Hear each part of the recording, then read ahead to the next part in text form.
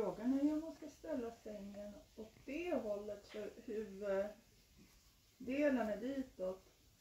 Så man kommer åt åt båda sidorna.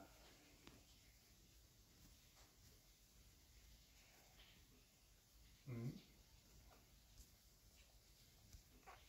Det går alltså utmärkt bra. Men nu har du satt en gräns där. Ja.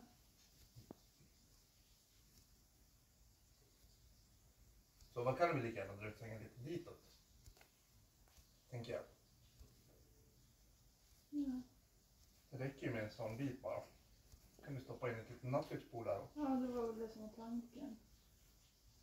Jag plus en tänker, papperskorg åt den där, den där skitungen. jag vet, men det kanske känns som att det är mer plats om man har